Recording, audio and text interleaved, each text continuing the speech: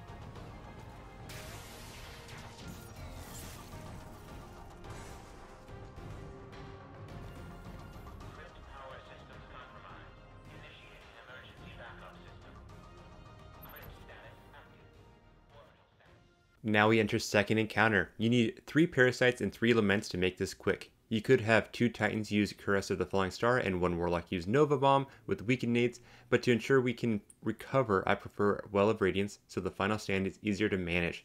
Scanner will go up immediately and kill everything besides the right servitor, the other two teammates will stay downstairs, and one will pick up the operator buff and they will kill everything downstairs, and once they have the buff, they will go upstairs. In space, the Titan will use Parasites and Thundercrash, and will run back to the elevator immediately, back to ground floor. If one floored, they will head back up. If not, they need to stay downstairs so they can scan and do damage and get us to final stand. While the scanner is moving downstairs, the operator will shoot off this Atraks replication in the airlock.